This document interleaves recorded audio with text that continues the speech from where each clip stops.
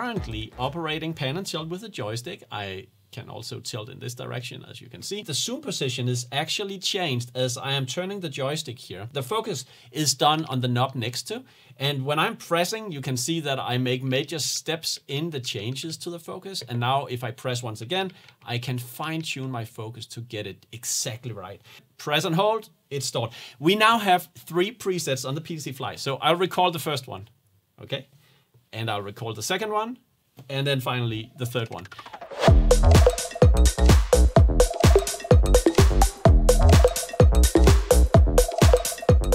SKAARHOJ's integrative technology can make multiple devices work together as if they were one. And from a user's perspective, controlling a DreamChip camera on a separate pan tilt head is a unified experience, while actually the hardware is two different things.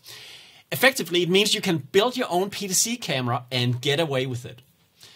As a key feature, DreamChip's multi-matrix control is also available both through our PTZ controllers and our RCPs. So there's really no compromise here. You get full control no matter what. Reacton Blue Pill also allows you to scale this up to as many kits as you want, and you can even add in cameras of any type without a hiccup. And finally, the Bluepill extension cables is amazing since it can power and control both the BR remote micro head and the DreamChip camera with a single connection. So easy. To start this video, I suggest we look at how it's all cabled. We are controlling serial cameras and a serial pan tilt head. This one, this is the BR Remote Micro L head, and this is the Atom 1 Mini Zoom camera. Together, the world's smallest broadcast PTZ camera but they do not have an Ethernet jack anywhere on them. This is RS485 serial standard. The same is true for the DreamChip camera. This is SDI coming out of the camera. So control and power, control and power, and video signal. In this case, the control and power for the um, BR remote head gets into this serial converter. So it has power and RS485 coming out of it. There's an Ethernet cable here connecting it to our network and it has an IP address. And it's powered by DC 12 volt on this side. We have another serial converter right here. It's connected to the DreamChip camera. It has RS485 coming here, and with the supplied DreamChip cable, we are supplying power through a separate DC connector, but it could also come from here, no problem. Connected to the Ethernet as well. Later in this video, we'll be looking at two other DreamChip cameras. They are in the far corner over there. They are also connected to a similar serial converter connected to the network. This one powers and controls two cameras. And that's possible because all of these units, they have a so-called bus ID. It means an identification on the serial bus. So this one has number one, this has number three, that one has number two and number one over there. So we are able to control multiple serial cameras on the same serial converter. Whew. Okay, so that's how we can do it, how we can control serial cameras and pan tilt heads in an IP world.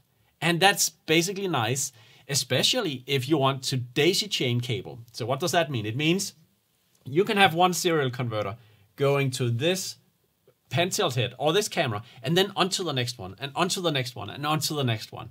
And if that's the sort of cabling infrastructure you would like to have, these serial converters are perfect. But we also want to propose a different solution, the Blue Pill extension cables. So these cables the the black one here attached to the blue pill is essentially an extension cable you can buy as an accessory to the blue pill. And um, you snap it into the blue pill you attach it by some screws over here and then in this end you have a connector that will fit right into your DreamChip camera. So instead of this one you just plug this one in and with the blue pill, you get both the signal and the power and then it's connected to the network. And this gets especially beautiful when you have the extension cable that supports both the BR remote head and the camera. So that means this cable would have, in the version that you would then buy, two cables coming out, one with a connector for DreamChip and one for the BR remote head. And if you get the blue pill in the power version, it has PoE plus support, meaning that a single PoE cable will supply power and signal to both cameras. So that's the cabling. Now, let's look at PTZ control. To control our DreamChip and BR Remote combined PTZ camera, we have PTZ Fly in a Blue Pill Inside version. And what that means is that we have the world's most awesome panel management software, Reactor, to help us configure this controller. And you see that I've already added an Atom 1 mini zoom camera device over here and the BR remote head. It's all set up, it's connected, it works. And the camera selector has been added one single device, the combo device. So this is usually an icon that shows a device with an image like over here, but today it says combo because this represents two hardware devices. It represents the BR remote head and the Atom 1 mini zoom. If I click the camera selector, I also have a chance to modify stuff like, for instance, the camera name, and I could fancy having a different nickname shown in the display right here. So instead of Atom 1 Min, I would like to see mini zoom. And it's now changed. You see, Reactor is just awesome and very, very real time with your controller. So that's great. Now, let's pick this camera and then let's see it work. So the first thing I'll do is to use the pan and the tilt. So I'm currently operating pan and tilt with a joystick. I can also tilt in this direction, as you can see. And then if I turn the joystick, notice that I'm now zooming.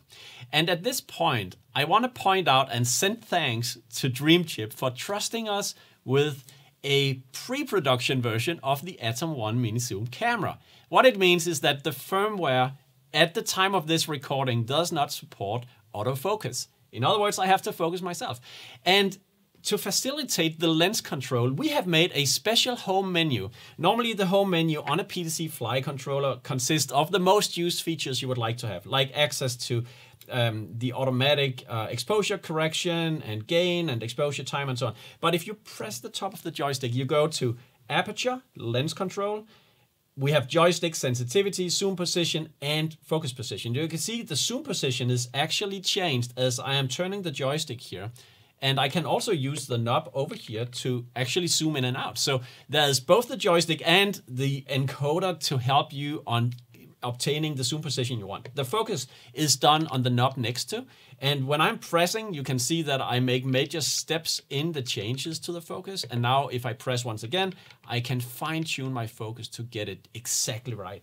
So there you go. We have zoom and focus of the camera, and we had also pan and tilt control of the BR remote. And from a user's perspective, the amazing thing is that this is fully integrated nobody on this side of this controller really cares that this is two different pieces of hardware. And that's that's just great. Now, what's even more great is that you can also store presets, just like for any um, normal PTZ camera. So if you press the lower edge of this button, you get to preset selection. Currently, it's it's all empty. There are no presets stored, but if I press and hold, this will turn green, and then it turns up purple, meaning that I have a preset I can record. So what we want to do now is really to just rearrange the framing a little bit. So let's zoom out like that. And uh, then we want to adjust our focus. Okay. Let's say this is good enough. I'll store this as a preset number two. And then let's zoom in over here, adjust our focus a little bit. Let me see in which direction I think I'll enable the coarse mode to have bigger steps and then enable fine mode to get it just right. I think that's it. Press and hold, it's stored. We now have three presets on the PTZ Fly. So I'll recall the first one, okay? And I'll recall the second one, and then finally the third one. Notice these presets, again, they're combining two devices. It's both the Dreamchip uh, camera and it's the BR remote head simultaneously. And from the user's perspective, as one. So we're really excited about that. And um, that's the main takeaway in this video. In the next section of the video, we'll add more controllers and that's exciting. But before we go there, I also want to show you a joystick sensitivity option that exists on basically all SKAARHOJ controllers. And it also exists in this case, even though it's a combo device. So joystick sensitivity is a, a way you can reduce the speed as you go. Or basically this, this value, if I set this to one, you can see as I'm pushing the joystick to full swing, actually I do not have a very high speed on my pan tilt zoom. If I increase it, you can see full swing means pretty high speed on the pan of the BR remote head. I can even adjust this as we go. It means if I go to the left, I could reduce the speed with this one. So you can basically full swing and then you can adjust the speed while you're holding the joystick in full swing. So that's joystick sensitivity. Pretty nice thing. It exists for all our PTZ camera integrations. I also want to highlight the aperture just next to, which of course is again a lens feature in the Atom 1 Mini Zoom. And with this knob, I can change the aperture in the camera. I can also do that in, in Corsa steps. So, and right now I think it's, it's colliding a little bit with our um, uh, automatic exposure correction, which I'll disable, and then I'll go back to my menu here. So with this one, we'll see that it's not fighting against its own gaining function inside the camera, but we can really truly adjust the aperture in the camera in coarser and finer steps uh, as we want. So in any case with the SKAARHOJ PTZ controller, we have spent quite some time integrating parameters for the particular camera. Dreamchip is no different. They have an amazing amount of things you can adjust in these cameras. And even on the PTZ Fly, many of these are broken out. So if you press the upper edge, you can see that we are paging through various settings for this camera. There are basically like 10 pages or 11 pages of settings we are browsing through like this.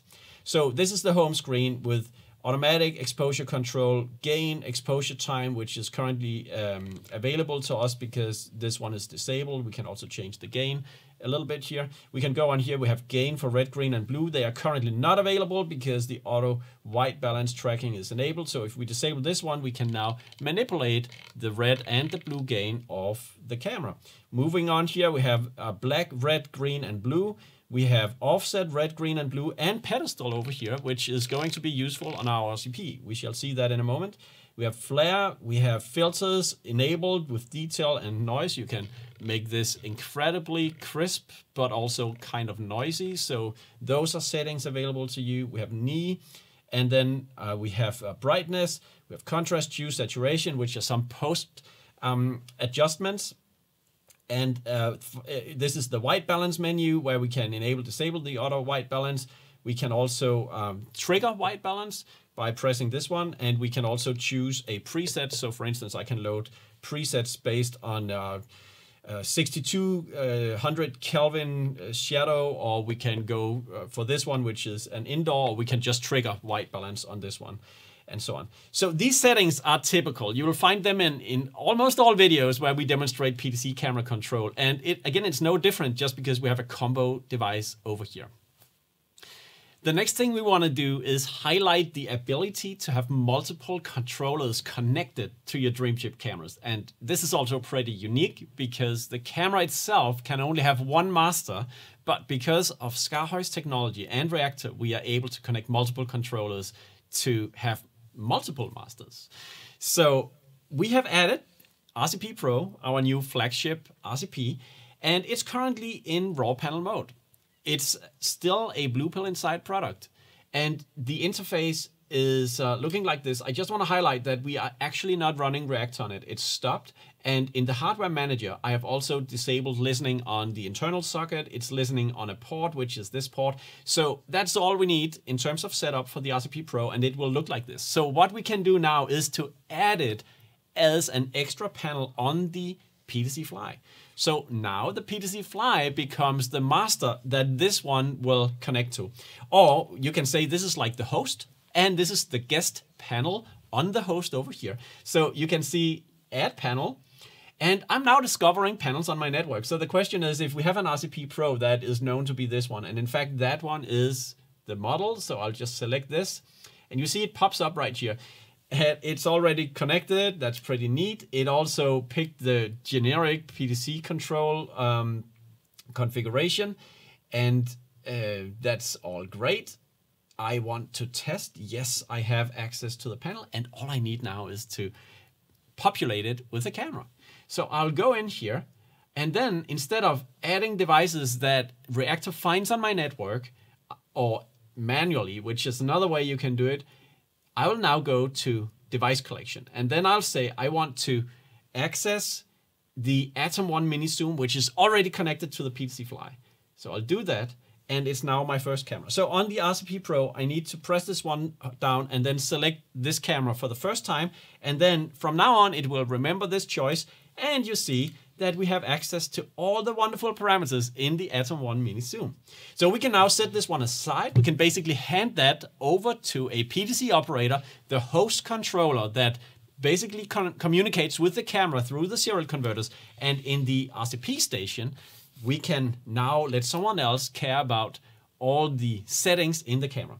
So I want to show you that we have on the home screen, once again, broken out many of the same things, but of course we have more because we have eight encoders here. And we have um, auto exposure correction, we have exposure uh, time, we have auto white balance here, and so on. So we can enable and disable these parameters right here. We could trigger white balance if we wanted. We can um, adjust the gain settings of the camera.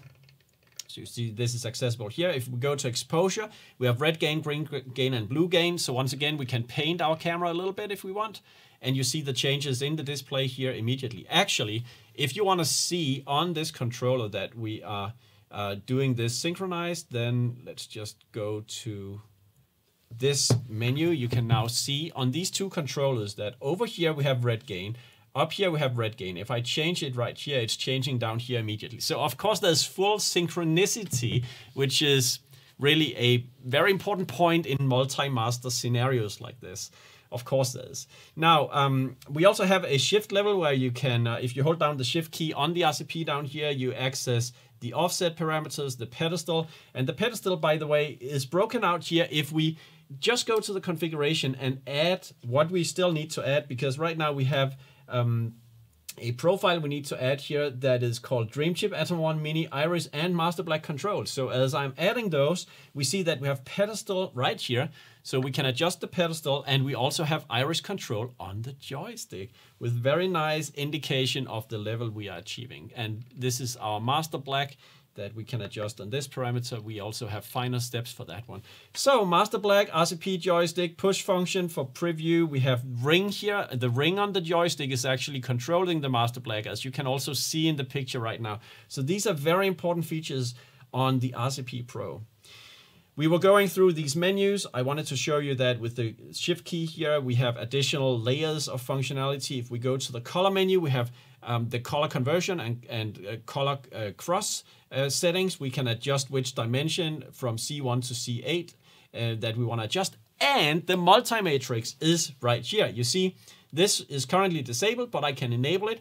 And then you can use this encoder to browse through the different color vectors that you want to address. So let's uh, just reset back to, uh, to the red one. Then we have saturation and hue adjustment for red color tones.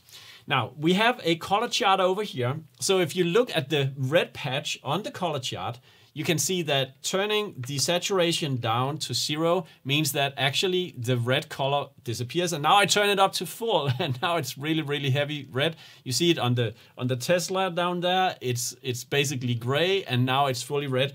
And now that it's fully saturated and I turn the, the hue, you see that I would be able to basically change the color of the Tesla to green. Now, this is Dreamchip's multi-matrix color control. And if you hold down the shift key, you see that you we are currently running on the default 24 uh, steps division of the color circle. And you can change that to 16 or to 12 or even up to 32, which is uh, what Dreamchip's protocol allows us to do. So uh, please make sure that you check out the multi-matrix control with Dreamchip. They are very proud about this feature because it basically means you can match this camera up to any other camera in the world. Filter knee access here we have uh, also uh, post-processing features like brightness, contrast, hue, saturation, and finally the miscellaneous menu where we have a uh, things like video mode that you can also change on this one um, if you want. This will only be affected if we press and hold the, the knob here, otherwise it's gonna fall back because it's a special confirmation mode that is applied, audio gain, and so on. So, ladies and gentlemen, this is the RCP Pro working as a guest controller on the host, which is the PTZ Fly that manages all the control to the Dreamchip camera. Before we move on to adding more cameras, more controllers, I want to highlight the presets you find on the RCP because they are different from position presets. On the PTZ Fly, you could recall presets for the lens, the zoom, the focus position, the pan and the tilt of the BR remote. On the RCP, the presets you can recall are related to color. So for instance, we have buttons up here that will recall presets related to the black, red, green, and blue.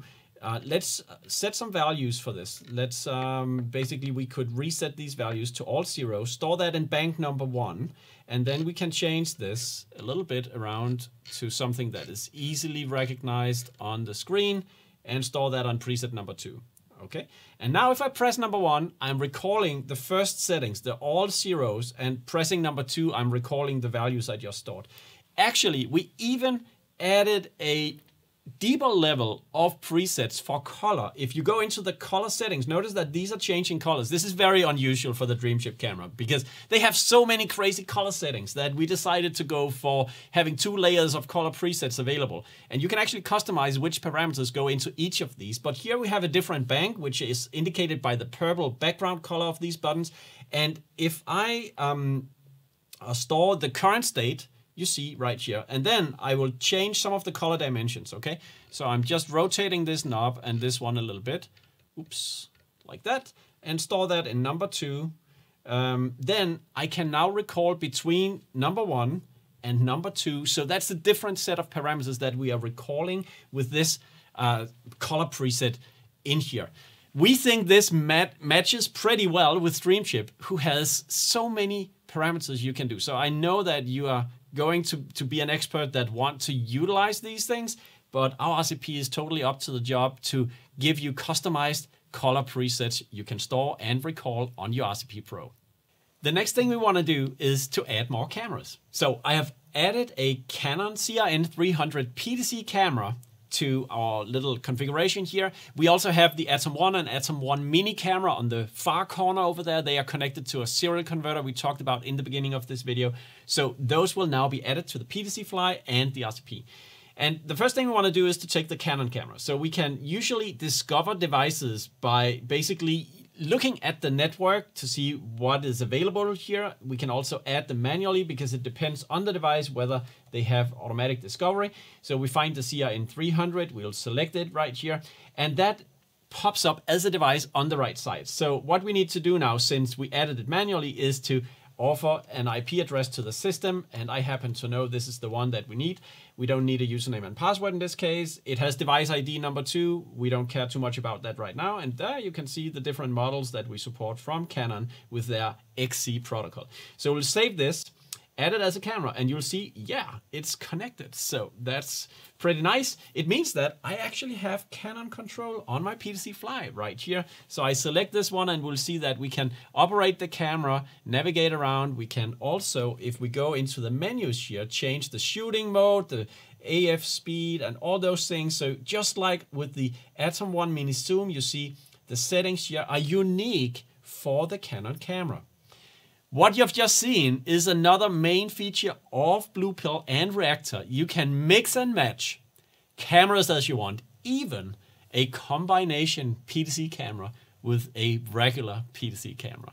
So that's a pretty nice takeaway point here for uh, the demonstration we've just made. What I also want to do is, uh, because going through the Canon camera's features is really not uh, for, for this video. There are other resources about that, but yeah, we can control the, the Canon camera. Let's uh, go and make a preset on it. Let's uh, zoom out a little bit and then uh, zoom in. Oh, I have my um, joystick sensitivity set a little bit low, so we'll just zoom in and press this one. So let's just make sure that we have uh, preset recall. We can recall the first preset and we can recall the second preset on the Canon camera. All right, let's go back to the camera selector here, go to the mini zoom camera and then we also had presets on the mini zoom. So let's just check that one out. Do we still have them? Yes. we can go to this one. Then we had one that went a little bit further to the left. And then this one that goes further in right here. The next thing we wanna do is to add the Canon camera, which is currently on our PTZ Fly, over to the RCP. And that's really easy. We go to the camera selector in Reactor for the RCP Pro, and then as a second camera, we can now browse our collection of devices where we have Dream Chip cameras, but we also have the Canon camera here. We just select it. And then if we look at the RCP, you now see that the camera selector that is available if I hold down the shift key has two options. And basically selecting the second camera will bring us to all the options for the Canon uh, camera. You see that we have unique menus for the specific features of the Canon camera. If I go back to the Dream Chip camera, the Atom 1 Mini Zoom here, I have unique features for this one, including we talked about multi-matrix, color dimensions, and all that good stuff. That's really how easy Reactor is to work with, and I, I find it so uh, amazing and really exciting how we can do this so easily. What I want to do is to add more to the RCP, because these are two PTZ cameras, and you see we are basically able to, you see, control the um, the mini zoom over here and I can switch over to the Canon camera. It just works. So that's great. But for those two cameras over there, which have no PTZ function, I still want them on my RCP. So let's just search those up and add them specifically to the RCP Pro down here. We need to add them manually. And I want to find them as models, so I'll just search uh, Atom 1. We have, um, let me see, Atom 1 here, Dreamchip camera, or maybe I search for Dreamchip, that's better. And you see all the options we have. We have SSM 500, which is a slow-mo camera. We have the Atom 1 Mini Zoom, that's the one. And then we have Atom 1, so let's just select this. Yes, please. And then uh, I will add the second one, the Atom 1 Mini, which is on the far side over there. So we have additional two Dream Chip cameras connected right now, but we need to configure them. And um, you see, if we look at the Atom 1 Mini Zoom, it was already set up when we started this video. And this is the IP address of this converter connected to the Atom 1 Mini Zoom, the port and the bus ID. I talked about bus IDs because over here we have two cameras connected to the same serial bus.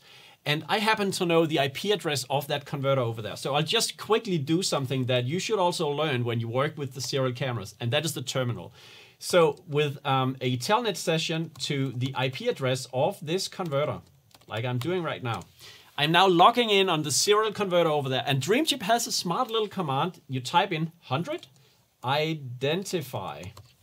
And now it's gonna tell you which cameras are connected on this bus. You see Atom 1 and Atom 1 Mini is bus ID number one and number two. That's what I get from this information right here, okay? So I'll go back to reactor and now I can configure these two guys so I'll just type in the IP address of the converter. Sorry about that. And let me see, was it 48? Yes, it was. So um, typing in the port and then the bus ID for the Atom one was one. I'll just save. And now it's exciting to see if it's connecting. Yes, it's connecting. And uh, I, can, I can actually run the test here. So you see the picture of the Atom 1 coming out. I can run this test. If I confirm, then it's going to flip the image over a few seconds and the test is done. Okay, so I'm connected to that one. We could have the same kind of fun on the Atom 1 Mini Zoom if I wanted to. So this is really useful little feature that you find for many device cores that we can make such a, a check on this. But let's move on and configure this guy down here. So uh, we set up the port and it had bus ID number two, sitting on the same IP address, but a different bus ID. Save. And we'll also see this is hopefully connecting correctly. And now the Atom 1 Mini Zoom doesn't have an output, so we can't press the test button and see it's working, but it actually is. And what we have now on the RCP, if we hold down the shift key, is we have four cameras up here.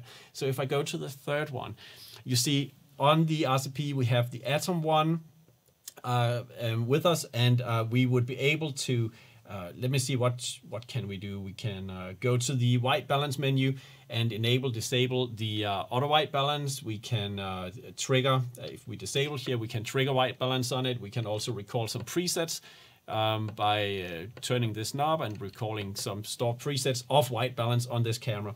And you see that we do not have um, any control of the lens of this camera because it's not a lens camera like we had the Atom 1 Mini Zoom. And if, if you go in here, you can see the difference basically is this, that the Atom 1 Mini Zoom has a, configuration chosen for Dream Chip, the lens, and um, that's basically it on, on this one.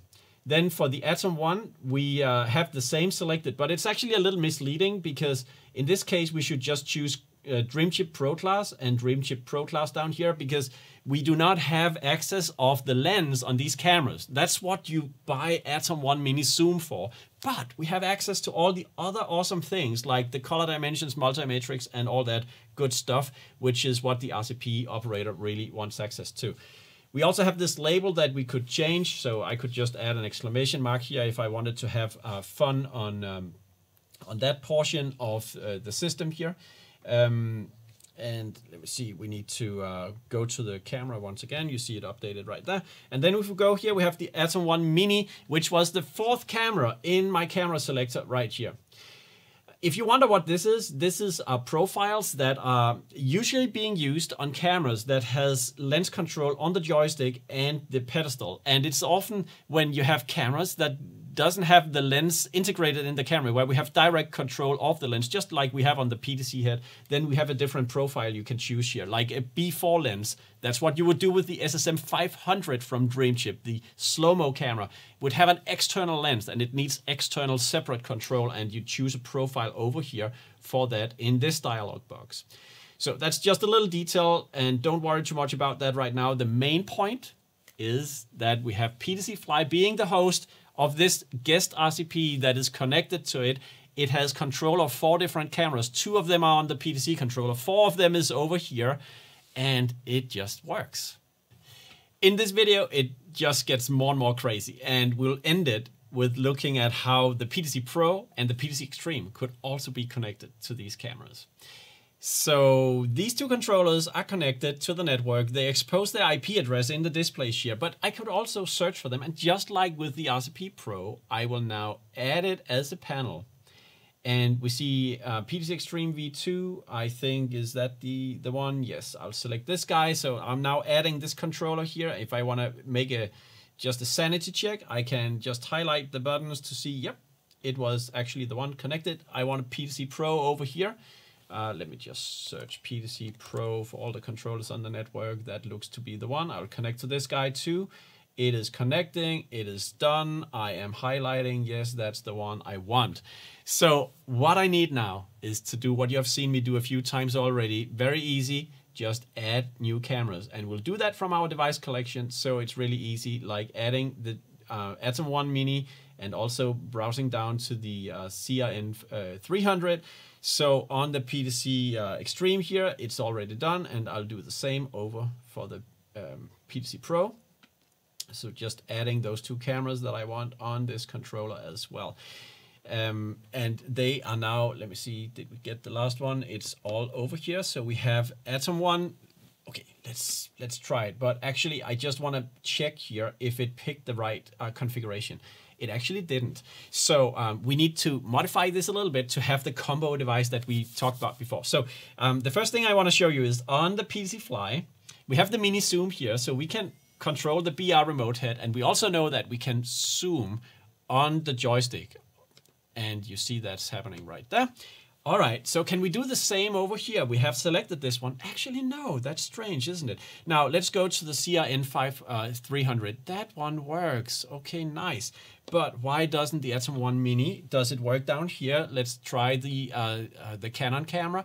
So, uh, yeah, that one works, but this one does not work. What about the things I can change on the camera, like color? If we go to a um, no wait let's let's take white balance and we have white balance uh, disabled so let's just try to recall a, a white balance preset yes that works and over here if we go to a white balance uh, menu on on this camera uh, you see we have different options for that um, then would would we be able to uh, to do that on this one um, we can also recall presets for white balance so we do have camera control and maybe do I have zoom control? No. Yeah, I do. Okay.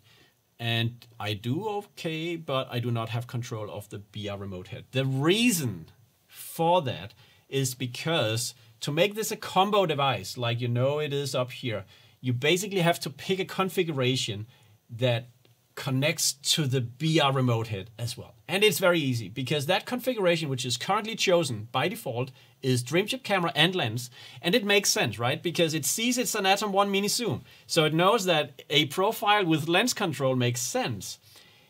But we need to pick the one with BR remote added to it like this. And I did that now for, I think, the PTZ Extreme here. So let's try this one out again. AtomOne Mini selected.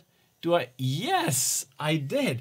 And even if I go to my presets here, uh, we will be able to recall presets that we also have down here. Ah, they are gone at this point. Um, somewhere in the video I have been uh, resetting my presets, but let's make new ones.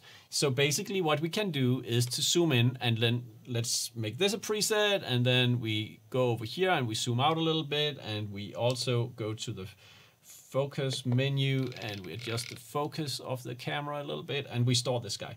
Okay, so we can now have, let's just check, preset number one, preset number two on the combo camera. Yes, we do have the same up here on the PTZ Extreme and I can recall that back down here. What happens if I do it on the PTZ Pro? There I have not yet yeah, you see that actually only works on the lens because on the PTZ Pro I also need to choose the profile here in the camera selector to include the BR remote control. And then on my PTZ Pro, I'll now be able to, I just need to choose this one because it needs to reload the configuration. I now have pan and tilt control on this one as well. I can recall my presets by a single push of a button. And I think this is beautiful, amazing. And think about it, we have one, two, three, four different controllers connected to the same devices over here all thanks to Blue Pill technology and Reactor. You may wonder, with all these controllers, do they control exactly the same things? Well, they have different use cases. We talked about the RCP already. It had not position presets, but it has color presets because it is an RCP and it's associated with color correction, right? And it also had access to the multi-matrix in the camera. You saw how it could change the color of the, the car over here and the color chart those things are not mapped down on the PTZ Fly and the Pro, but they are in fact on the PTZ Extreme. And the reason for that is SKAARHOJ divides our controllers into what we call Pro class and Standard class. And basically, an PTZ Extreme is a Pro class controller. It's running on the same configuration as an RCP. PTZ Fly and PTZ Pro, they are standard class controllers. And the configuration that we are shipping by default do not include the multi-matrix on these two controllers. You can have it. It's in the system. It's not impossible. It's you can map those features onto the knobs if you want that instead of the selection we have made in the default configuration. But whether you want to do that or not, we're just saying from the SKAARHOJ factory, these standard class controllers have certain features and others not while the Pro class controllers, they have certain features and others not. So that's uh, one distinction when you look at our PTZ controllers that we have this standard class, pro class. We even have light class for the PTZ Wiz, our smallest PTZ controller. But I just want to mention that. And it also means that whatever you see happening on the RCP is available on the PTZ Extreme. Certain things on the extreme, like zoom, is not available on the RCP, and obviously the iris joystick is not available over here, but you have a, a knob right here to adjust that aspect as well. Thank you so much for following this video. If you want to learn more, make sure you reach out to our sales team or our support team. We have also a number of materials online about how to configure these things so you can learn more details about that. And of course, if you follow us on social media, which you should, you will always get the latest SKAARHOJ news as one of the first people in the world. And that's not such a bad thing these days because we have so many new products and concepts coming out all the time.